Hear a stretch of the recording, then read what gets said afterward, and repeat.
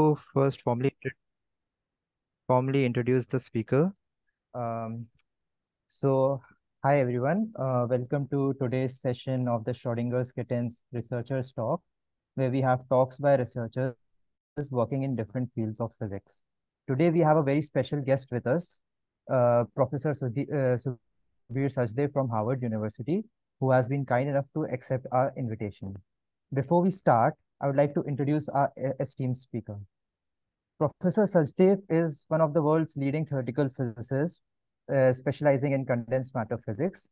Professor Sachdev completed his PhD in theoretical physics from Harvard University and then held professional positions at Bell's, Bell Labs and Yale University before returning to Harvard, where he is Herschel Smith Professor in Physics. He has held uh, he has held visiting positions at prestigious institutes like Perimeter Institute of Theoretical Physics and TIFR Mumbai.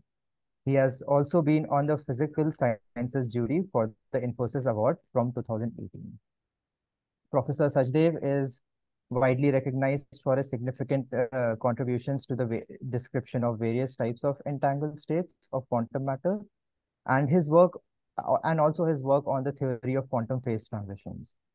His outstanding achievements in the field of physics have earned him numerous prestigious awards, including the Lars Onsager Prize from the American Physical Society and the Dirac Medal from the International Center for Theoretical Physics.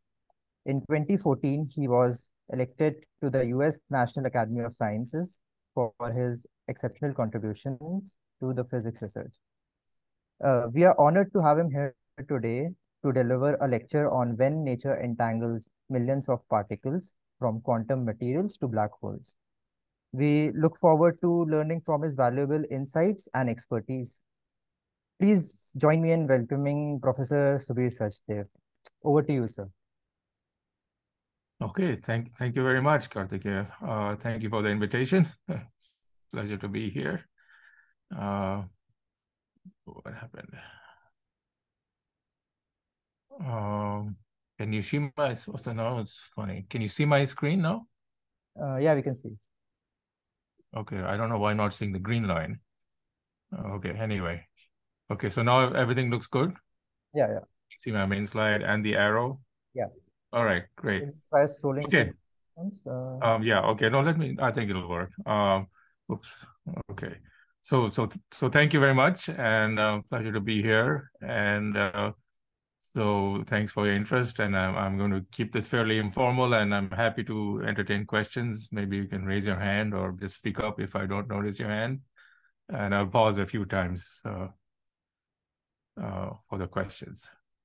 Okay, so this is, I prepared this as a fairly basic talk, so let me, well, although it will get complicated pretty soon, uh, let me just remind you uh, what is entropy and temperature. So the original definition of entropy, going back to Clausius in uh, 1865, um, is that some quantity you define using thermodynamics, uh, using some complicated procedure with heat flow, uh, and it's defined so that every macroscopic system has an entropy which cannot decrease, has to increase, and there can't be any uh, perpetual motion machines. Uh, and temperature was defined in sort of an arbitrary way, um, as just the uh, you know the height of some piece of mercury with some markings and gives you some scale. Uh, but a more precise definition, and the one we use today, came from uh, Boltzmann, uh, which is he related entropy to uh, to statistics. So if you have a thermodynamic system with many many degrees of freedom, uh, it's characterized by some simple quantities like pressure and volume and uh, total energy and things like that. But those macroscopic variables are consistent with uh, many microscopic degrees of freedom. Uh, and so W is somehow the volume or the measure of the how many degrees of freedom are compatible with the macroscopic observations, and that gives you the entropy uh, by this famous formula that's in the gravestone of uh, Boltzmann uh, in 1870. So KB is a constant, if it was evolved to Boltzmann, would have been just one. Uh, it's just a constant that's inserted to make this definition consistent with Clausius's definition. So I'm going to just set KB equals to one. Uh, also, another remarkable thing about Boltzmann definition, uh, it becomes, in fact, easier to apply uh, in quantum mechanics. So in 1870, of course, there wasn't any quantum mechanics. Uh, but in quantum mechanics, as you know, every quantum system has a discrete set of allowed uh, uh states of energy. So we can define a density of uh, quantum states, how many energy, how many states, allowed states that are there are in a given interval. and then the entropy is just the log of the density of states. Okay. All right. So, and then of course, there's temperature, which is defined as how entropy inc increases as a function of uh, energy. So this is the absolute scale of temperature, which I'm going to assume from now on. Okay, so that's uh, thermodynamics 101. Uh, let me now just remind you quantum mechanics 101, in particular, what is uh, quantum entanglement. Um, so the idea of quantum entanglement really arose from this paper in 1935 by Einstein, Podolsky, and Rosen, uh, who, uh, you know, basically speculated that there was something wrong with quantum mechanics, uh, at least at a philosophical level, uh, because it seemed to imply some rather strange behavior. Uh, and and this strange behavior came from applying more carefully something had been accepted in uh, quantum theory so far, which is the principle of superposition, that a physical system can be in a superposition of uh, two or more distinct states, um, like the electron going through the left slit or the right slit in the famous uh, double slit experiment. But what EPR said, well, let's consider a thought experiment where there are two electrons and imagine these two electrons are in this kind of state uh, that, roughly speaking, is found in a hydrogen molecule. Uh, I, I, represent each electron by its spin, which can be either up or down. Uh, and the state of the electrons in a hydrogen molecule is this superposition state of two distinct configurations. In one of them, the left electron has spin up and the other one has spin down. And in the other one, uh, it's vice versa. All right, so this is the state that people had understood existed in a hydrogen molecule. Um, and there was no real controversy about that. But what EPR suggests is that, well, suppose you were able to separate these two spins without, uh, yeah, separate the two electrons without disturbing the spin. So then, even though they're very far apart, with one electron here and the other electron, you know, on the moon, in principle, uh, they are still entangled and still in this state where uh, they're neither up nor down. So, whoops, that should have flipped the spin, but it didn't. There's a, something wrong with my graphics there. Uh, anyway, uh, so given this entanglement, which can then exist over long ranges, uh, then EPR pointed out that there's a seeming, uh, at least unpleasant feature uh, which is that we know that you know when you measure some the, this the state of a quantum system is only fully determined when you actually look at it. So in this case, if I look at the left electron, uh, it collapses as we say say to the spin up. So if I see spin up, then the other electron, even though it's very far away, would that or that that instant uh, be spin down or vice versa. Sorry, I have I have this messed up these pictures. That should flip to down. Excuse me. Uh, anyway, okay. So the measurement one electron seems to instantly determine the state of the other electron far away. Um, of course, uh, we know today that uh, well, oh sorry, and this is what it is said that Einstein calls spooky action at a distance. Uh, I was very uh, suspicious about this. Did he actually say this? Uh, in fact, he did. So this was in a letter by Albert Einstein to Max Born. Uh, this is the original letter in German. Uh, that's spooky action at a distance in German. Uh, so they tell me. Uh, and as he says, I cannot seriously believe in it, meaning quantum mechanics, because the theory cannot be reconciled with the idea that physics should represent a reality in time and space free from spooky action at a distance. Uh, so so is this really a problem? well, it can't really be a problem because the experiment, which was purely a thought experiment, uh, has been done now many, many times over. Uh, here was here was a report in the New York Times. It was done with photons, not with electrons, but uh, the basic underlying experiment is essentially what they have proposed. So, so you know, how does one reconcile this? Uh, how do you why you're getting this spooky action into distance? Uh, but really, uh, you know, what one has to accept is that the concept of a quantum state is not a local concept. Uh, the two electrons, you know, were close to each other way back in the past, and that's when they affected each other. But once they formed a quantum state, the quantum state didn't belong to one or the other electron. It was really in neither place. And so the quantum state can be highly non-local, but measurements and all physical influences and causality is completely local. Okay, that's our understanding today. Okay, so now, so with that introduction to quantum mechanics 101 and thermodynamics 101, uh, let me move on to the topics I've mentioned in my uh, in my title. So, uh, and amazingly, the two concepts of entropy and and quantum entanglement actually come together in a remarkable way when we think about black holes.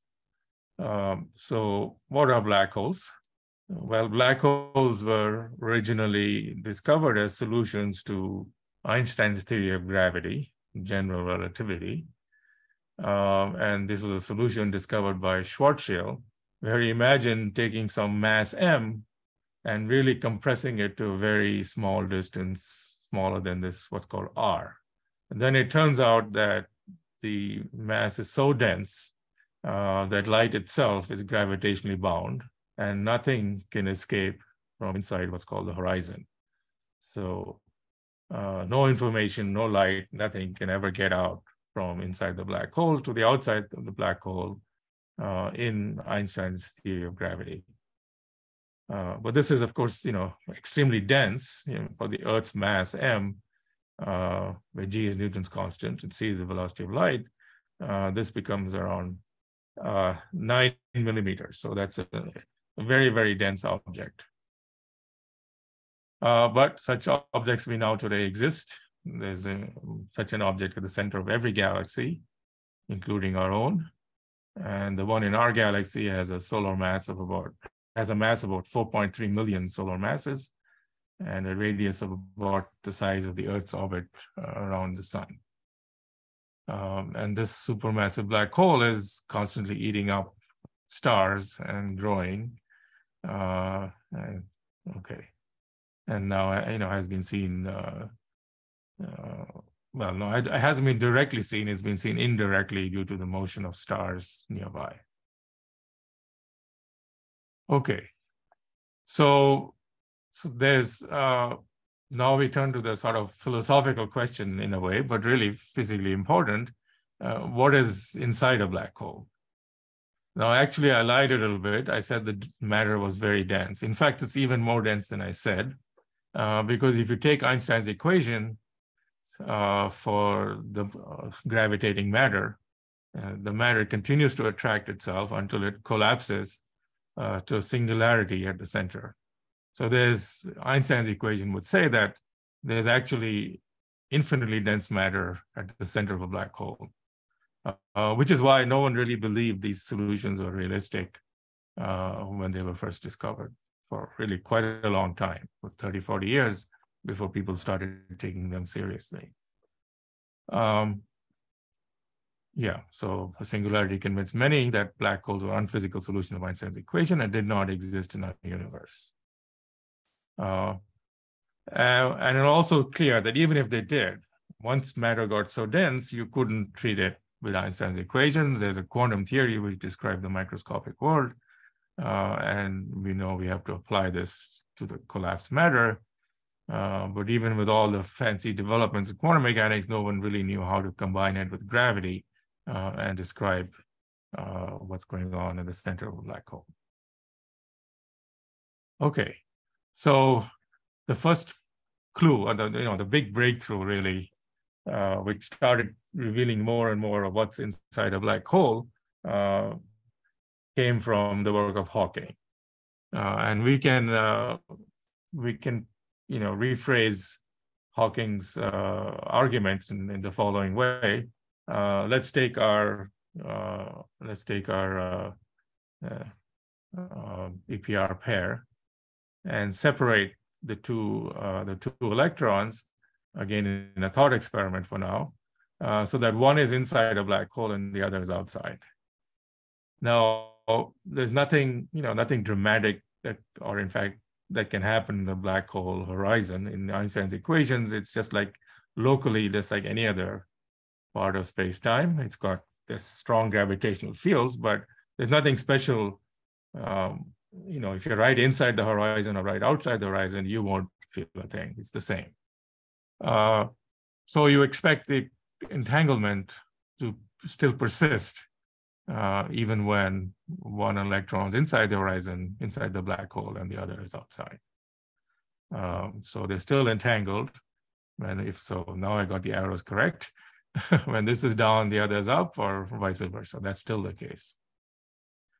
Um, okay, but so that means there's quantum entanglement with the inside and outside of a black hole. Okay, can't, you know, that seems really unes unescapable by just combining Einstein's theory of gravity with what we know about quantum mechanics. Um, okay, so, and from this, Hawking argued that black holes have a temperature and an entropy. And what is the argument? Well, imagine you're the outside observer here with this electron in your hand uh, then the state of the electron inside the black hole can never be known. You know, it's just gone forever. No one can measure it and send you a signal. Uh, it's just inside. So since you, you know, you can't know that if you're doing a quantum theory of your visible universe, you have some set of equations. Uh, they will all describe the region outside the black hole. And as since and in that region, there is no entangled partner. So this electron is, you know, is up and down. Those are the two possible state of the electron, but they're both completely random. It's not due to, it's not entangled with anything else that you can see or measure for the foreseeable future. Uh, and therefore, there's some randomness. And as we've learned from, from Boltzmann, that implies entropy and also a temperature. So that was uh, Hawking's celebrated result. Um, he's uh, imagine an observer outside a black hole, and just by thinking about what's uh, quantum theory of that observer, uh, you conclude uh, that there's an entropy. Uh, of course, Hawking did more than that. He actually got a number. This is Hawking's entropy for a black hole, expressed in terms of the velocity of light uh, and Newton's constant. And A is the area of this horizon. So that's really, in some ways, also, you know, a very remarkable feature. But you can sort of understand it why there's proportion the area, because as I've said, the uh, the entangle the entropy is entirely due to entanglement of degrees of freedom across the horizon. So, and you would expect the number of degrees of freedom to be proportional in this case to the surface area. Uh, but it's very, very different from any other system, which is not a black hole, uh, you know, where uh, you have an entropy proportional to the volume, just like you know the gas or a cup of coffee. The entropy is always proportional to volume. So that's uh, one shocking thing. The other shocking thing, of course, is that uh, this is really the first formula that we know that involves Newton's constant and Planck's constant together. All right, and this is a turns out a very large entropy. Um, okay, all right. So so that was Hawking's result in 1975, uh, and uh, you know it's puzzled physicists ever since. So okay, but this raises some questions. In particular, you know, Boltzmann has taught us. If you go back to the very, you know, first slide I showed you, uh, Boltzmann has taught us uh, that entropy is the logarithm of the density of quantum states. So if the entropy is large, there's really many, many quantum states. Uh, and, and so there must be many, many quantum degrees of freedom. But Hawking's calculation doesn't tell you what they are at all. Hawking's calculation is a very general type of calculation, which only works with gravity, it works with Einstein's equations, uh, and just looks at, uh, you know, some basic properties of the role of H bar in it. Uh, but it doesn't tell you, you know, you got this entropy, you know, what is this entropy of? Where are these microscopic degrees of freedom? You just have a featureless black hole as far as you know, looking from the outside. I mean, you expect there are some sort of entangled pairs in the physical picture, but where? What are these? And uh, why don't you need to know more about them to compute the entropy? Okay, so for this, you really need a complete theory for the of quantum theory of the inside of a black hole, which you know, which we don't really have, although we are getting a lot of hints from many directions. Uh, and in fact, the first uh, very important hint came from uh, string theory. So string theory was able to find certain solutions uh, of black holes. It's a full quantum theory which has black hole states. Uh, but this was only for the case where the black holes had uh, some extra symmetry called supersymmetry, which is not present at low energies in our universe. anyway, so with a supersymmetric and also a black hole with net charge, uh, and Vafa were able to compute, uh, you know, compute the density of states uh, for a certain black hole, for which you know, they also knew the area. And, and, remarkably, they found exactly the correspondence you expected from Boltzmann. So that was a real triumph.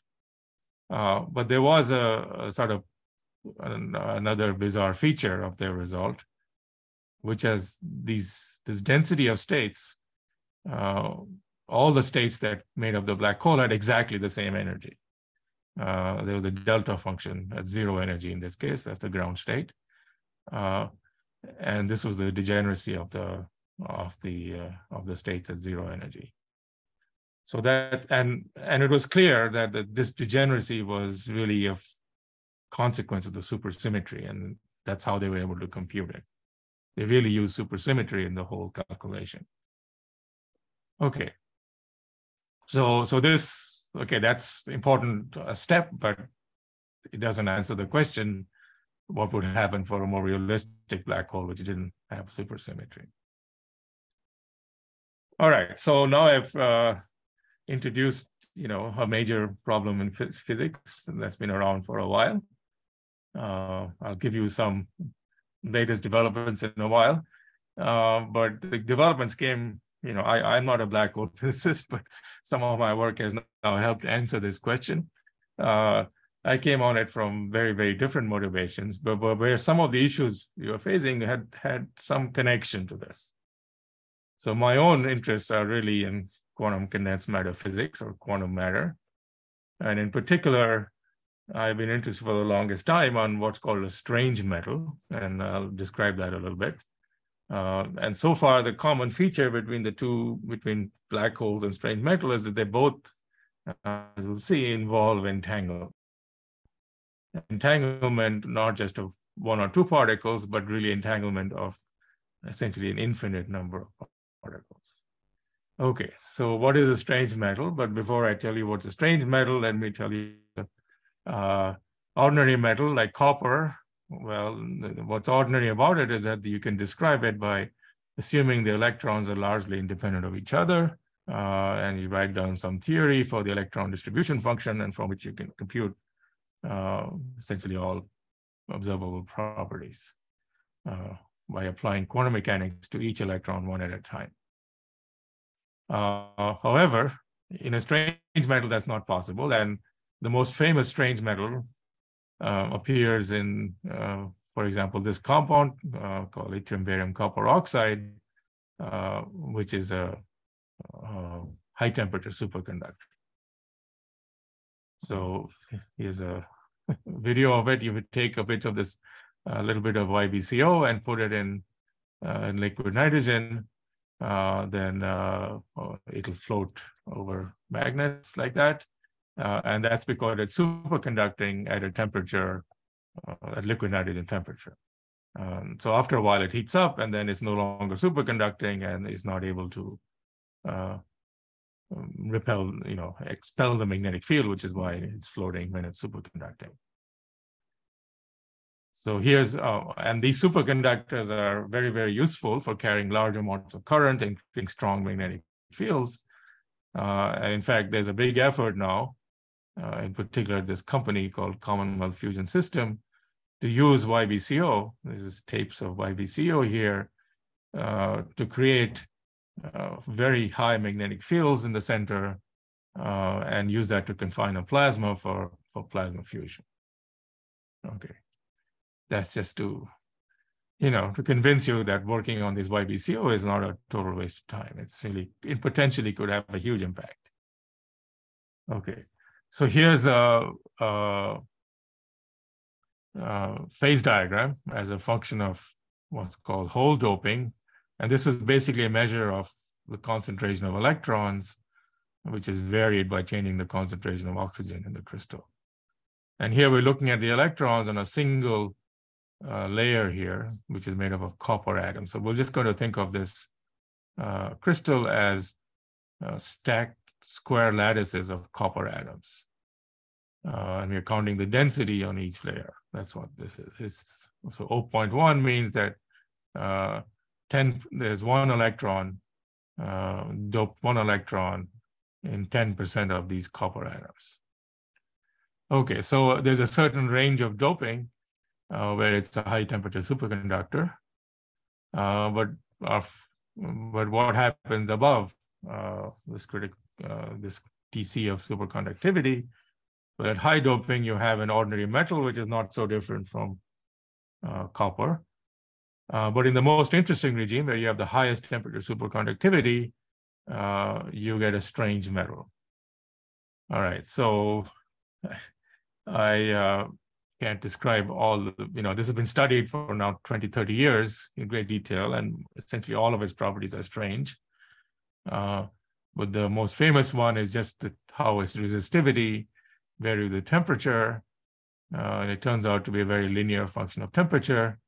Uh, uh, unlike in copper where this would be quadratic and and and this jump here is the onset of superconductivity in this particular material which is lanthanum strontium copper oxide okay so that's the strange metal uh, and we need a theory of the strange metal uh, which you know we've been working on my group is working for quite a while and we have some interesting proposals that i'm fairly excited about uh, fairly recently.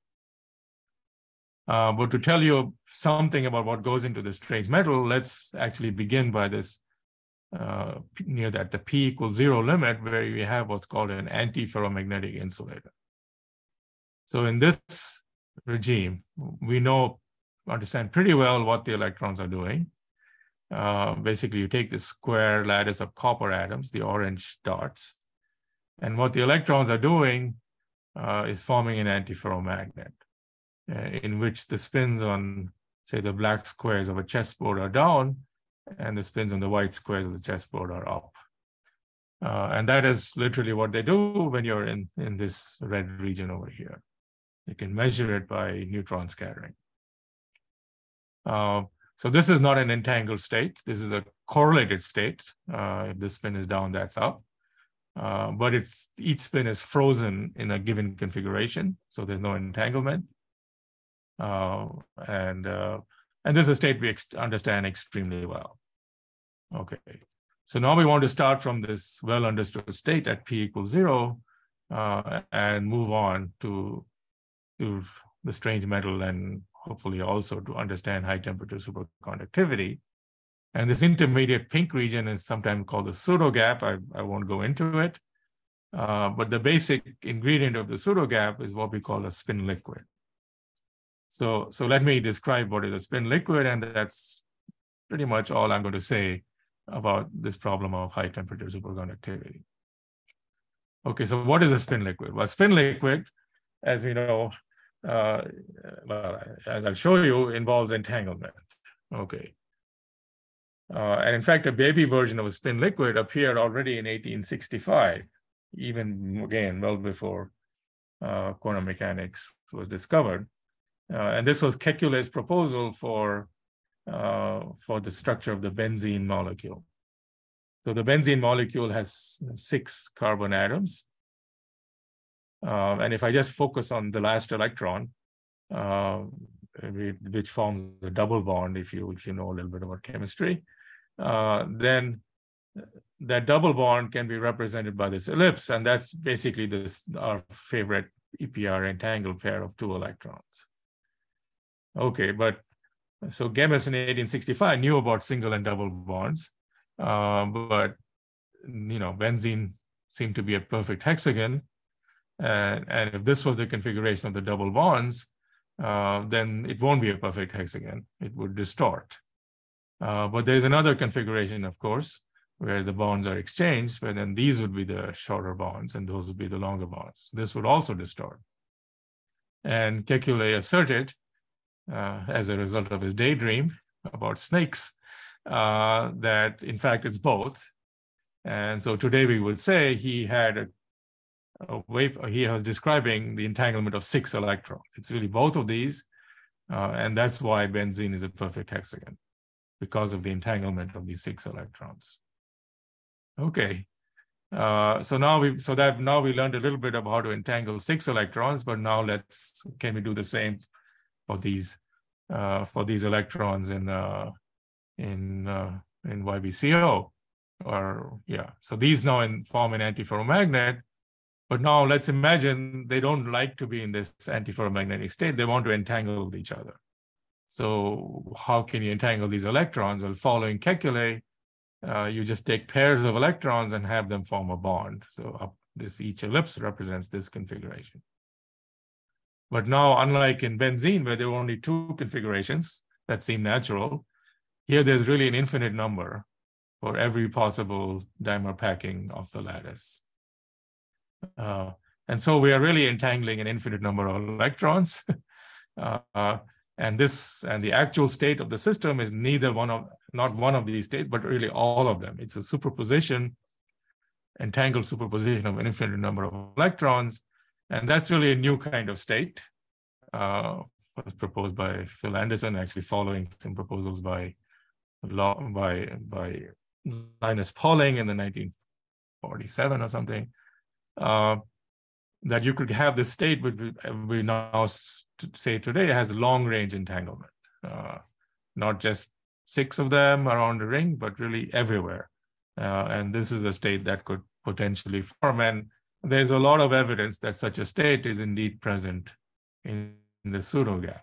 Now, the pseudo gap, however, uh, appears at finite doping. And doping corresponds to removing some electrons because you're doping with holes. So these are the empty states.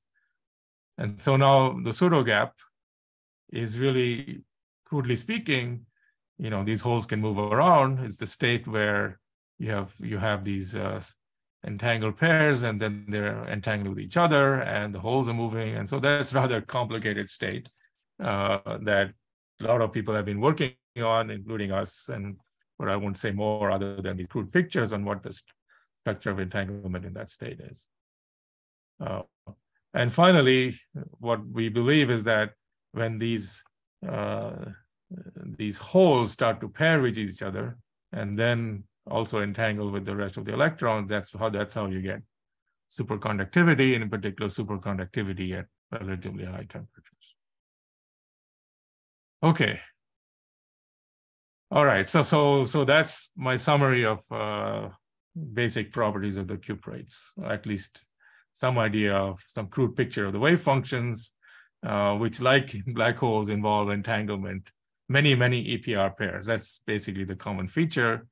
Uh, but, you know, none of this has really led to any theory of, for example, the strange metal, where you have a resistance that's linear in temperature. Um, okay, maybe I should have paused also a little earlier. So this is a good point to pause if there are any questions, uh, either on black holes or on high TC superconductor uh, you know, I've introduced these two physically distinct systems and just told you about some major problems that exist in understanding them. Mm, people okay. can so, put the questions yeah. in the chat box if there are any questions. Yeah. Yeah. Okay. All right, so so we need a theory of the you know black holes and how they get their entropy, and we need a theory um, of uh, the strange metal, um, and so really what we need is a better understanding um, uh, and in particular, what would be really great to have some model that we can fully solve and really work out all the properties, uh, which involves entanglement not just of two particles as EPR, but really an infinite number of particles, uh, you know, or six particles as in Kekule, something that generalizes to a large number of particles. Uh, and that's what's called the SYK model. Uh, I mean, it's not the only model of many particle entanglement, but it's a model that actually seems to capture the essence of the entanglement in black holes and also uh, in strange metals. So what is it? Well, uh, you you know, Kekule said he had a dream about snakes. So I can also falsely claim that I had a, a dream about snakes. Uh, but this was a dream about snakes that could go from anywhere to anywhere uh, in sort of a random way, as they seem to go uh, uh in this uh, game of snakes and ladders. so here's then, jokes aside, the actual SYK model. So imagine you have a, a bunch of sites here, 1 through 19, um, and some fraction of those sites are occupied by electrons, represented by the purple circles. Here I'm not talking, I'm going to entangle these electrons, I'm going to entangle their positions, uh, not their spins. So I haven't drawn any spins uh, for each electron. So this is one possible state of the electrons with, uh, in this picture. Uh, but now quantum mechanically, the electrons are going to want to move around. Uh, and so, for example, the electrons are going to tunnel from site 11 and 12 to 5 and 14. So for this process, there's a certain uh, complex number that quantum mechanics associates to it. So that the square of the complex number is the probability that this tunneling event will happen. And so that number I'm going to call U 11, 12, 5, 14 uh, by the labels of the sites involved. Okay, so you're given this number for, for this particular process, tunneling event. But there can be many other tunneling events, for example, from 5.4 to 11.18, and that has another number, and so on. So really to, to specify the full dynamics of the system and to compute the future history of the system, uh, the future time evolution of the system, I need to give you a set of numbers and the initial state, of course. Uh, and the, there's you know one number for each such uh, correlated hopping. So I should say that the simplest hopping would be a one electron hopping, say, from two to three all on its own. Uh, I'm going to forbid it because if you allow that, you end up having an ordinary metal. So you want to turn it off. And that's really all you have to do. Just turn single hopping uh, off and then allow for uh, pairwise hopping from anywhere to anywhere. So I have to give you a set of, of order n to the power four numbers um, and when you have those numbers, then you can just put it on a computer and solve it. Well, except you can't uh, because it's too complicated uh, beyond, say, about 25 particles. Uh, even in the world's best computers, you cannot solve it uh, because the number of states is too large. So if you add 100 particles, roughly speaking, the number of states here is 2 to the power 100 because each side could be empty or full. Um, and two to the power 100 is a ridiculously large number. You can, you know, you can't store. There's no computer uh, with that large a memory. So you simply cannot solve this problem beyond even 25 uh, on any on any computer. So so so our hopes of describing the entanglement of these electrons as they're hopping pairwise is kind of completely dashed. Well, not quite. So what uh, I argued in way back in 93 is that there's a huge simplification that appears uh, if you just assume that these numbers are uh, uncorrelated random numbers. So each number is just some number, uh, and uh, and we assume they're drawn from some distribution, and and they're independent of each other. They're basically independent numbers. There's no correlations between them. Uh, this is not to say that I am studying an ensemble of systems. I'm just studying one system. I have just one system and I want to describe the properties. All I'm going to require uh, is that the system be big and there be no correlations between the different numbers. So once you assume that, it's kind of like a you know generic assumption in the study of random systems, uh, then actually you can solve it. Uh, you can basically work out a lot of the properties of the system. Uh, and what you find, uh, remarkably, in this case, you can prove it for model. You get a metal in which the electrons move uh, not one by one, but in an entangled soup. They're always entangled with each other. They don't, you know, they're not able to liberate, separate each other from the rest of them. Rest of them, they're not paired up. They're really entangled in a way that gives you some basic idea what's going on in a strange metal. Okay, uh, and so this is not just words. You can actually compute some things. So let's compute uh, you know, uh, the most important thing, certainly for black holes, which is uh, if you want to know the entropy, we need to know the density of states. So here's uh, some numerical calculation for a small system of the density of states. You, you find all the energies, allowed energies for the system, which depend on all the U's, uh, and then you bin them to figure out how many states there are per unit energy interval. Uh, and this result agrees very well uh, with the theory. So the theory tells us if the system is large enough, uh, the envelope, so this curve becomes smoother and smoother as you make the system larger and larger. Uh, and so it has the same value for any system. And this is the smoothed out density of states. Uh, and it depends on the number of electrons, uh, the, the, number of sites, and uh, some energy scale gamma, and the energy that's going in, of course, that's uh, just a function of that. And this number S naught uh, is is you know what we computed in 19 uh, 2000. This is the number. Okay. All right. So uh, yeah. So in fact, yeah, that was done in 2001 with Antoine Georges and uh, Olivier Parcollet. Uh, the sinh only appeared recently, and it came from computations in quantum gravity, and I'll tell you why quantum gravity is important in a minute. Uh, and the one over n was obtained in work with a group uh, you know, along with uh, Alexei. Anyway, so it took a while to build this answer, but it's a very definite, clean answer for the density of states of the SYK model. All right, uh, is there a question? Okay, the question is, uh, is this a lattice model or a non-lattice model? Uh, you're right. So it's it's a non-lattice model. So I can't yet apply this to the cuprates, where the electrons are definitely sitting on square, uh, uh, on a square lattice.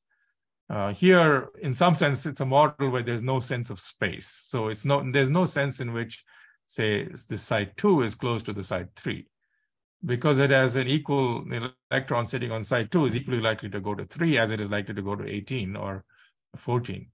So the whole system is really, it's really a point. It's It doesn't have any space at all. It's like a zero dimensional dot uh, with lots of degrees of freedom all coupled to each other. Yes, so, but that's a very far cry from the situation in the cuprates. Uh, and why should this be of relevance to the cuprates. Yeah, well, this particular model was uh, uh, motivated by the cuprate problem and, you know, and proposed by us in 93. And at that time I was said, okay, this problem is really difficult. Let me just cook up any model I can think of, which can get rid of individual particle motion and only have cooperative motion in a strange metal-like state. Uh, and that's what we came up with. Uh, but the question of why this is very relevant to the cuprates is something we've got repeatedly gotten since 1992. Uh, presumably, it's also why nobody paid much attention to this model for the longest time. Anyway, but now a lot of progress has been made, uh, and uh, we think we can really extend some of these insights to a much more realistic model. Uh, but I don't think I'll have time to go into that. That okay. All right. So I've told you about all of this. Yes, but where the connection, you know, to my, you know, certainly if you told me this in 1993 uh, that the SYK model is going to lead to a theory of black holes, I would have said you're crazy. Uh, but that's what it did. Uh, and this was something that uh, slowly became clear over the years. And in fact, it was in 2010 that I first proposed that actually there was a deep connection between SYK model um, and charged black holes. So why does this connection arise? Well, to understand this connection, I needed to learn a little more general relativity, uh, which I learned over the years, uh, especially uh, from a group of Hong Liu and uh, John McGreevy, a paper of theirs that taught me a lot. Uh, so let's go back to general relativity and look at the solutions of Einstein's equation uh, for a for a black hole, which has a mass m, but also a net charge q. Okay, so there's a mass m and charge q inside the black hole. So since there's a charge, I have to put in electric fields, and since everything's relativistic, I also have to put in magnetic fields. So really, I have to look at the combined equations, you know, the two most famous equations from the 19th century or earlier 20th century, which is Maxwell's equations and Einstein's equations for electromagnetism and gravity and combine them together. Well, it turns out that there is a solution of a black hole with a net charge uh, uh, called a Reissner-Nordström black hole. And if you look at the solution of those equations, uh, you find something quite unusual, remarkable, which is as you go nearer and nearer the horizon, uh, if you are falling into this black hole, you will think your world is one one one dimensional. You'll have kind of tunnel vision, and you'll only see the forward direction. Uh, and all of the angular degrees of freedom uh, would disappear. Would be, in fact, they become rather high energy. So, if you want the low energy or low temperature behavior of this black hole, um, you can just work in one space and one time dimensions. Um, so, so if we, going back to this picture of entangled pairs, uh, we need only consider entangled pairs at this one point zeta sub h, uh, because roughly speaking, you know, all the angular modes disappear and, and basically you're only looking at the so-called angular momentum zero mode, uh, which, uh, you know, which is just described by the dynamics of a single point in this direction, which is zeta sub h. Okay. Uh, so you only need entanglement uh, at a single point uh, in this two-dimensional space-time, which is zeta and tau. Well, I just told you about a model uh, with entanglement at one point, and that's the SYK model, uh, which is just, as I just discussed, just entanglement at a single point.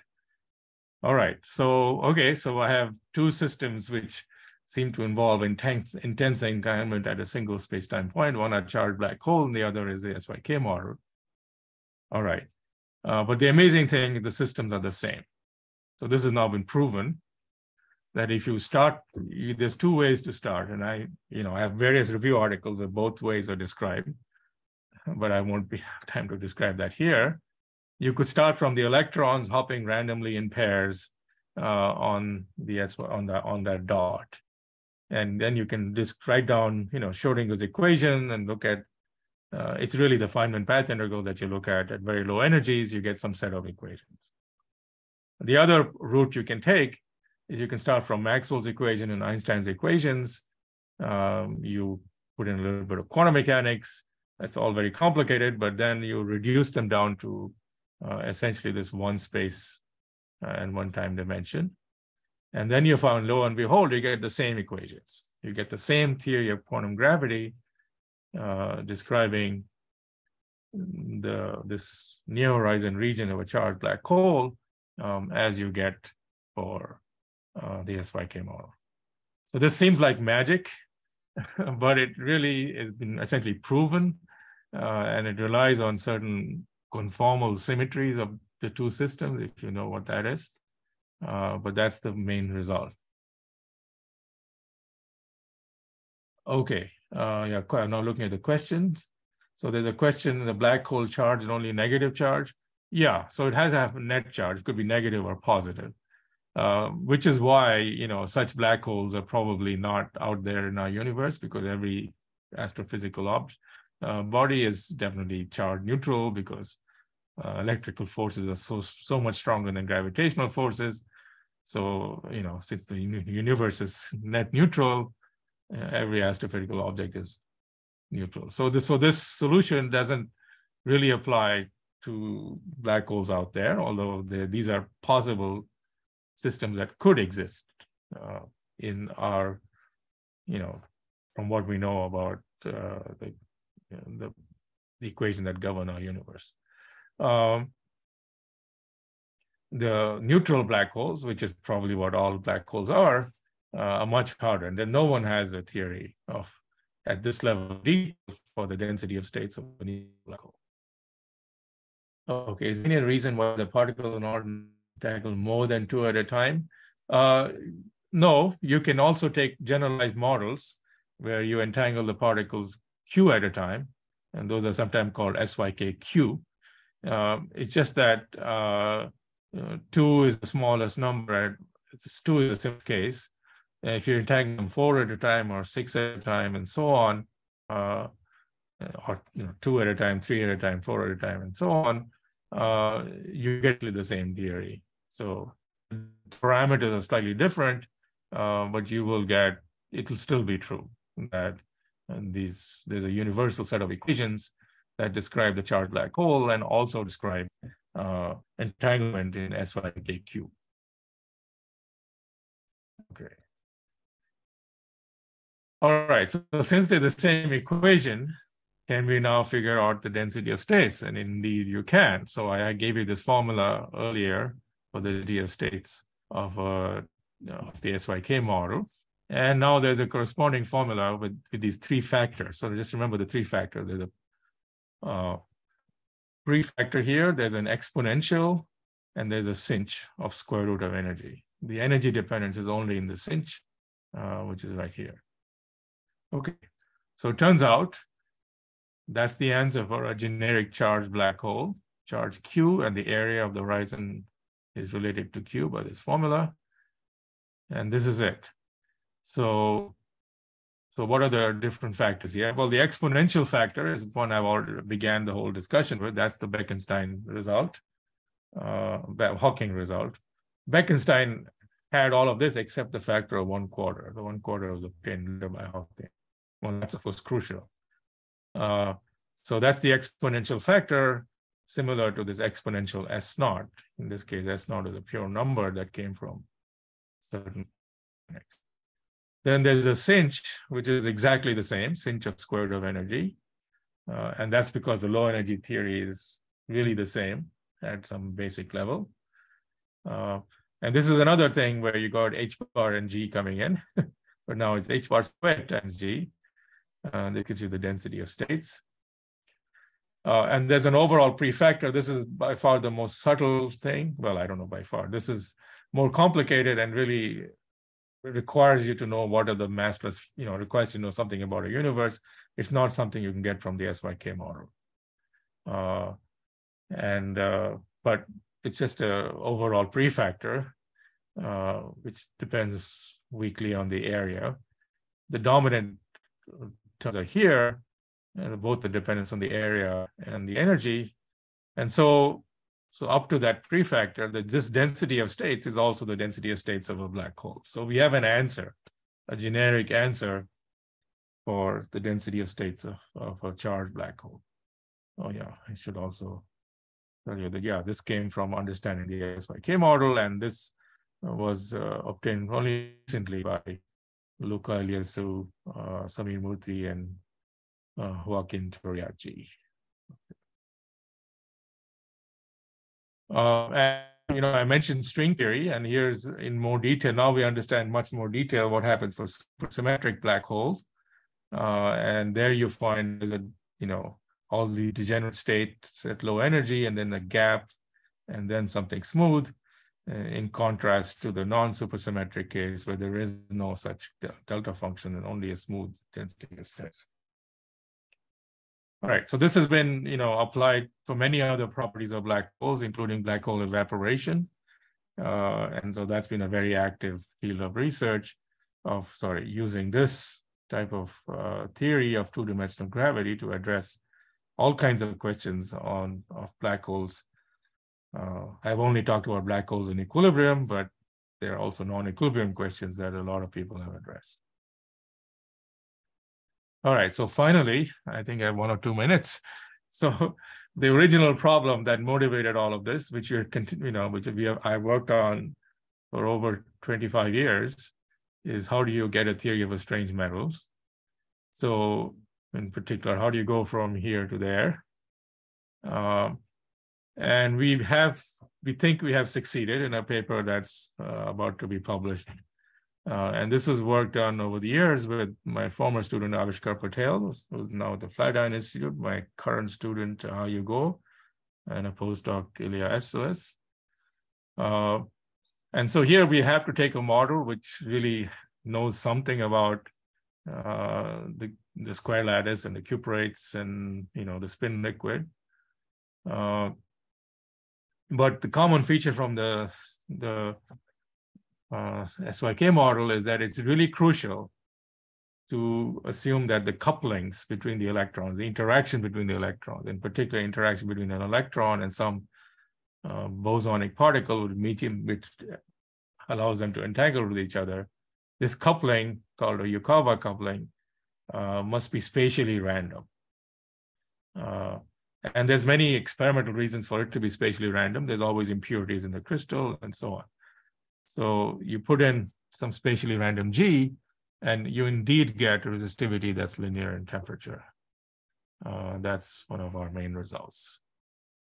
And there are many other properties we can compute, and all, as far as we can see, are in good, uh, are consistent with the observations. All right. Okay, another question.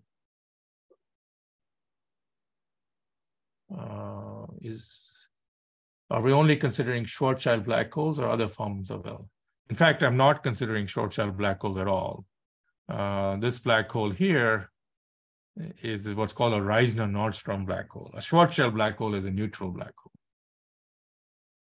Okay, another question. What can be understood for an entangled in black hole sense when we say SYK model uses Majorana fermions? How should we interpret the SYK Hamiltonian in general? Uh, great question. Yeah, you can use Majorana fermions or complex fermions is the one that I've described. It doesn't matter. Uh, yeah, so but really I, I would, maybe the question is, is there really an SYK model in this inside a black hole? Uh, no, I don't think so.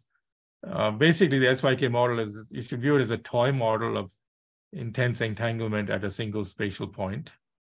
Uh, and that toy model has enabled her to understand certain universal features uh, of entanglement when it's sufficiently intense. Uh, and those universal features, you know, give you this exponential prefactor and this sinh of square root of energy. Uh, by now, there are many other models, uh, most of them starting from gravity and some even starting from string theory, which have which we now understand have the same universal features. So you know it's prob it's probably the case. You know to really know what's inside a black hole, we need to know what is the ultimate you know the theory of the ultimate high energies, and it's probably string theory. So it's probably true that there you know you need inside here are strings is a is a better picture. But we are now talking about you know some uh, uh, some very, very subtle features. For most properties, when you're looking at the low energy dynamics, uh, you can go ahead and work with the uh, SYK model. It captures all the, you know, the important universal features that anybody has access to uh, at this point. Okay.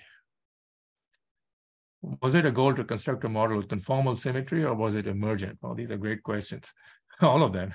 Uh, no, it wasn't a goal. It was a complete surprise when uh, you know, this random model turned out to be conformal. Nobody really expected it.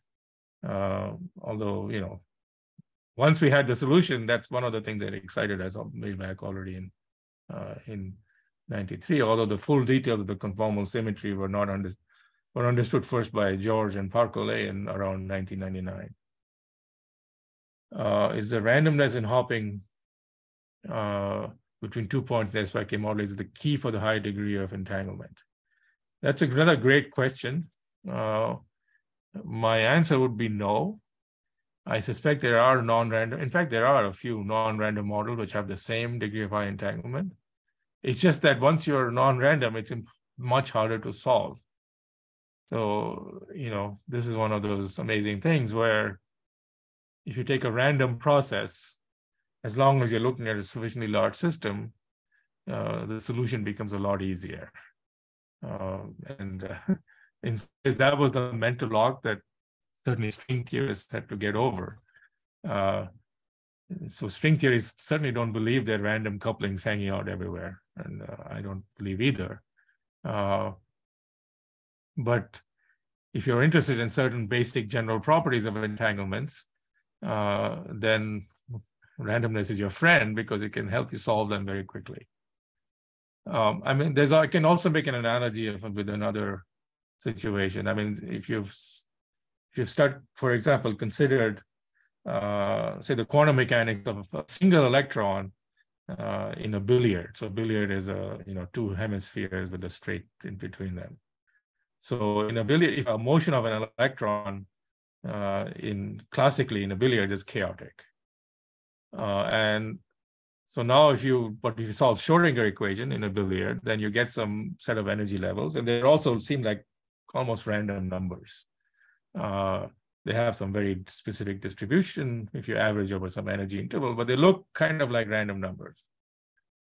Now, if you look at the statistics of the spacing of the random numbers of these energy levels, you'll find that they're completely described by uh, the distribution uh, uh, of eigenvalues of a random matrix. So this was a, you know, great discovery of Bohigas. Uh, they map the uh, energy level spacings of a quantum chaotic systems to the eigenvalues of a random matrix. Now, if you want to compute the correlation between the levels, uh, good luck trying to compute it by solving Schrodinger's equation in a billiards. That's a really hard problem. But it's relatively easy to compute all of that from a random matrix. Uh, and uh, and now there's you know even today there isn't a complete proof that the two distribution are the same but no one, everyone believes they are. There's a lot of numerical evidence, and I think there's almost a proof now, in, in at least in some semi-classical limit. But not a proof. Uh, people tell me that the mathematicians are completely happy with yet, but physicists are perfectly satisfied. Uh, yeah, so, so so that's the bottom line. Uh, you know that that so that historically there was that famous example how quantum chaos is equivalent to random matrix theory. And now I'm saying that, you know, quantum many body chaos, at least for charged black holes, uh, is equivalent to the SYK model. It's at the same level, but now we're talking about many, you know, much more complicated systems with uh, many particle degrees of freedom. Okay. All right, so I'm going to end there. So let me just recap the basic message. Uh, so the SYK model describes multi-particle quantum entanglement resulting in the loss of identity of the particles. Uh, in one set of variables, it has helped us describe the strange metal properties of YBCO. Um, and in a dual set of variables, it actually describes the quantum, you know, at least the density of states of charged black holes. So, thank you. Uh, thank you very much, sir, for such an enlightening talk. Um, I'm sure a lot of people would be motivated to work in this area. Um, now we'll move on to questions. If uh, people have questions, they can unmute or maybe they can put them in the chat box. Hi, I have one question. So um, I do not follow how the quantum entanglement across the horizon that, leads to the area dependence in entropy. So could you explain that part? Um, Yeah, I mean, it's, uh, um, let's see, let me, oh, yeah, I should share again.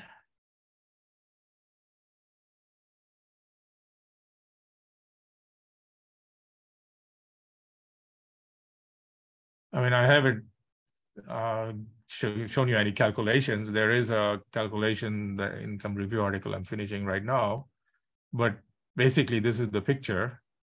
So we're imagining that, you know, there are, you know, there, you know, vacuum fluctuations that, you know, you have the, or, or the, there's some matter, but the matter is way down here, but you're, you're thinking about the quantum mechanics in this region. Uh, quantum mechanically, uh, you know, there are, uh, say, pairs of electrons which are happen to be floating on entangled, they're fluctuating. But if they are across a black hole horizon, then they'll be brutally separated from each other. And as that brutal separation will lead to some kind of uh, uh, radiation coming outside. Uh, and that radiation implies this is some sort of black body. Okay, so that's a very crude picture. Uh, and so now you can, so why should that uh, entanglement or the, why should the entropy be proportional to the area? Well, because the entropy is in, precisely due to these EPR pair that are being separated from each other across the black hole horizon. Um, this, you know, this type of process happening out here or out here is not going to contribute in entropy. That's just uh, vacuum fluctuations, which are part of the ground state. But here, when you're doing, uh, uh, you know, when you're emitting radiation and separating EPR pairs, uh, then you're creating entropy. Okay, I hope I answered that okay. question. Any other questions? Uh, I had a question. Uh, like since uh, we talked about random coupling, uh, uh, like has uh, has it has have has the model be, been studied through the point of view of out of time order correlator, and oh. like since like yeah, that's the question. Yeah. Yeah, absolutely. I mean, okay, I didn't mention out of time order correlators, but in fact, that was the, uh, again uh, one of the big reasons that string theorists got really excited about the SYK model around 2015. Uh, I had been excited since 92, and even I had pointed out the connection to uh, black holes in 2010, but nobody was paying attention. And I think one of the reasons suddenly everybody started paying attention uh, was this uh, where was this? Okay, there was a um, uh, yeah uh, was this uh, computation of the out of time of correlation function, which uh, for an SYK model, I think was done by Kitaev, um, and and he found this maximal transition to chaos and then there was a paper by also around the same time by Stanford and uh, Steve Shenker, uh, where they did uh, computation of out of time out of correlation in Einstein gravity. and both got the same answer.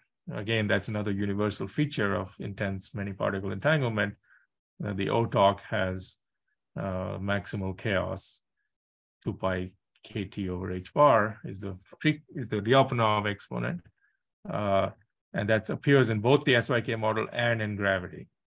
And so, so, so that was, uh, uh, you know, that was one of the very much the motivation of the study and various explorations. Uh, and you know, of course, now after the fact, we understand it by the fact that they're obeying the same equations, really. Yeah. Yeah. So, are there any further questions? Uh, I have, I have one question. Oh, okay, sure. Yeah. Uh, okay. So uh, the so so so far what I understand this SYK model is that everything is connected to everything, and uh, the hopping of the electron is uh, taken from a random distribution. Now, uh, instead of taking it from a random distribution, can we uh, put some quasi-periodic disorder like something cosine and some irrational number times uh, the distance. I think you can. Uh, I I think some of that has been studied. I mean, there are people who have also taken random dilution. You, I, I, you could take, you could take some quasi-periodic function or whatever. Yes, you can. Uh, the only important thing is that the there should be independent random variables. That is, the probability of this hopping and probability of that hopping should not be correlated. As long as the independent random variables, it doesn't matter what you take. You know, it should. Now there could be some even some correlations in the sense that you could take a sparse SYK model and put in some correlations. Uh, it seems like not to matter. Now, on the other hand, you know, it's hard to prove these things because once you put in some correlations and you take your favorite distribution, nobody can solve it except numerically. uh, yeah. so, but people have done it numerically and compared to the fully random case, and you get essentially the same properties. Yeah. So. Okay. Thanks. Uh, so I have a vague question, but uh, so like as far as I understand these SYK and other tensor models, they have the, the same kind of behavior in this large N limit where things are dominated by these melonic diagrams. And that gives to some universal kind of Green's function. So is it true that any model in principle which has some charge black hole dual as well as is a theory of some sort of a strange metal has to be some derivative of the SYK or there are other proposals as well? Well, okay. I mean, whether everything, you know, that's hard to predict, but the ones that are known so far are all basically Melonic types with some variations. I mean, there's also the the ones with mixed fermions and bosons, which are not exactly the Melonic diagram, but closely they are the Migdal-Eliashberg diagrams. Uh, so I suspect the answer is yes, but I, you know, I don't know. And I don't know. It's proven that somebody could find some other model. But what we do expect uh, is that whatever model you find, for it to have the physics of charged black holes, uh, that it has to have this uh, SL2R symmetry, or there's a certain conformal symmetry that's uh, the symmetry of uniformly curved space uh, in one space in one time dimension. Uh, as long as the dynamics has this conformal symmetry, then it will be the same, basically. That's really all you need is the conformal symmetry. Okay, thank you. Mm, are there any more questions or comments? Yeah, one quick question, Shubhi. Uh, yeah. I was uh, thinking that is uh, all this, so SYK physics uh, is of this li linear T resistivity. So are these connected with also with the maximally chaos behavior and also this um, this viscosity entropy ratio like can we expect that these will be all like maximal yeah. in all such models? Uh not that i know of. I mean i should say you know syk has maximal chaos but the, the model that we're actually solving to get a strange metal is not it's not syk it's it's some something that's been inspired by syk it's a little more uh, more specific to the to two-dimensional physics.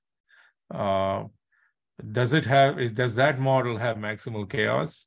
Uh, in fact, it it it, uh, um, it almost does. There's some log corrections, but it almost does. Yes, there there will be a paper on that soon uh, that uh, some of my students are working on.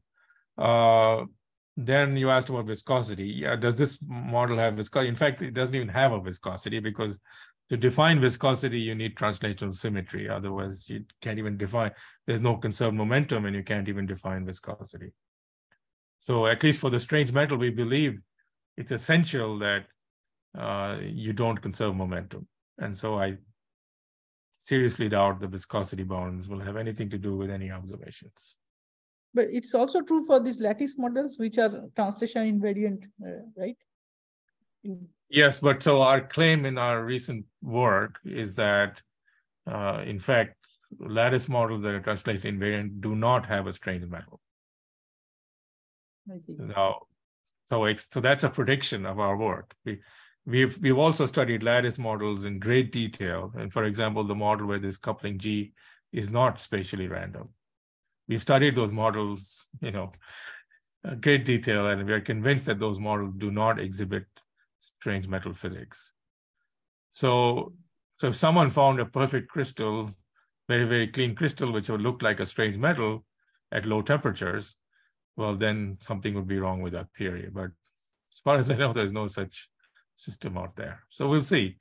Uh, I'm sure people will try if they pay attention to theory. Uh, but we are convinced that uh, spatial randomness is actually crucial for strange metal behavior. But those models also has linear T resistivity, right? Those lattice models. Don't. Which models? All these uh, lattice models you are talking about, or you? There are not. Do they? They have linear T resistivity at high temperatures in the in the okay. bad metal regime, where you're dominated by ohm Umklapp. But when you go to very low temperatures, all of those models, in fact, do not. They become essentially have a delta function in transport, and they become perfect metals, not strange metals. I see. Yeah. Um, okay. Yeah. Thank you for the very nice talk. Okay. Thank it you. It was very nice to have you here. And uh, yeah, definitely we wish to have you physically. Okay.